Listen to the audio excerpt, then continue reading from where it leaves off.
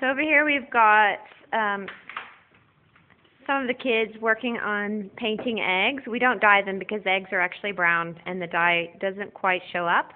But using watercolor paint and markers and stickers, they still come out really pretty. I think this one right now so far.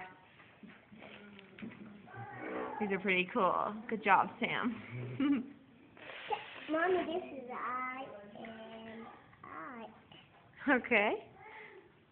And so while these guys are doing their eggs, over here we have this group doing cookies. Decorating cookies. They're hard at work making these cookies very, very pretty. Look at that. And we made these cookies with our little cookie press that a friend of us, friend of ours sent. Hope you guys all have a wonderful, wonderful Easter.